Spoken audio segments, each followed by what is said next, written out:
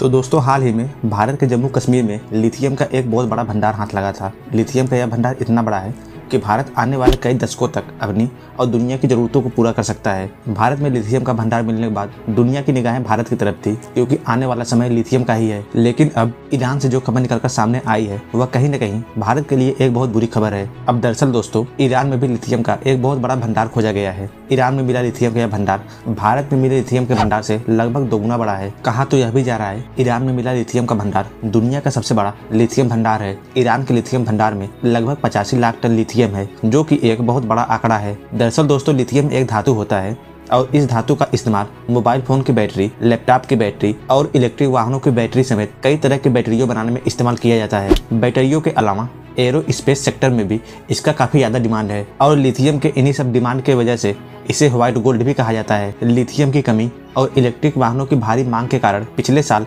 इनके दाम आसमान छू गए थे। और लिथियम के इतने डिमांड को देखते हुए हर कोई देश बस यही मना रहा था कि उनके देश में लिथियम का एक कोई बहुत बड़ा भंडार मिल जाए। लेकिन इसमें भारत और ईरान को सफलता मिल गई है। फ़िलहाल तो ईरान में कच्चे तेल का भी काफ़ी बड़ा भंडार है। लेकिन अमेरिका ने ईरान के ऊपर जो प्रतिबंध लगाए हैं, उस वजह से ईरान अपने तेल को दुनिया को नहीं बेच पाता। लेकिन अब लिथियम का भंडार मिलने की वजह से हो सकता है कि यहाँ से ईरान की किस्मत पलट जाए। अब बहुत सारे लोगों के मन में यह सवाल होगा कि जब अमेरिका ने कच्चे तेल को लेकर ईरान के ऊपर प्रतिबंध लगा दिया तो फिर वह लिथियम को लेकर भी ईरान के ऊपर प्रतिबंध लगा देगा। तो दोस्तों, मेरे नज़रिए से अमेरिका ऐसा कभी नहीं करेगा। इस समय पर्यावरण को बचाने के लिए डीजल गाड़ियों का बंद करना काफ़ी ज़रूरी है।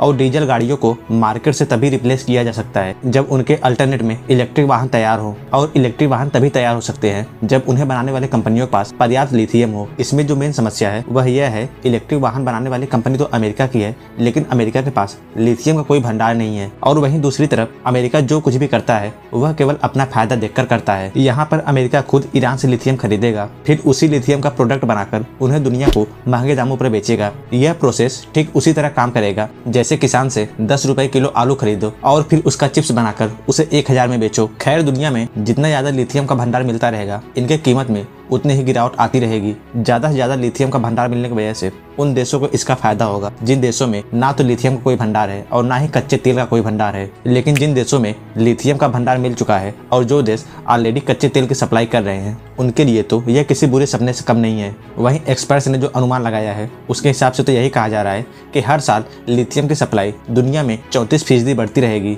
इस हिसाब से देखा जाए तो एक समय ऐसा आएगा जब लिथियम का दाम एकदम कम हो जाएगा। लिथियम का दाम कम होने की वजह से इलेक्ट्रिक वाहनों के दाम भी कम हो जाएँगे और इलेक्ट्रिक वाहनों के दाम कम होने की वजह से जो गरीब लोग हैं, वो भी इसे परचेज कर सकते हैं। तो मिला जुलाकर कहने का मतलब यही है, इससे देश को फ़ायदा होगा या नहीं, यह तो बाद में देखा जाएगा, लेकिन इससे जनता को फ़ायदा होगा, यह तो अभी से कंफर्म हो गया है। खैर दोस्तों, आपने कभी इलेक्ट्रिक वाहन चलाया है या नहीं, हमें कमेंट करके ज़रूर बताएँ। साथ ही साथ अगर आपको वीडियो पसंद आए तो इसे लाइक और शेयर करें और हमारे चैनल को सब्सक्राइब करें।